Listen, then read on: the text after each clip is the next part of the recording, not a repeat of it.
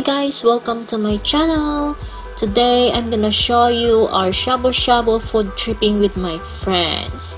So what we have is we have a very thin uh, cat beef. We have some pork. We have some shrimps.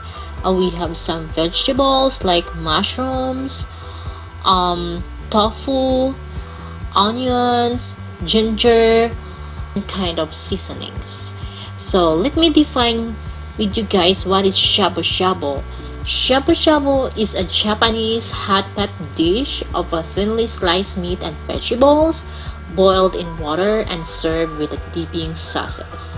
So what you can see is we're like uh, putting the meat in a boiling water and you know at the same time the vegetables and then we eat it you know right away so keep watching guys. Hope you like our video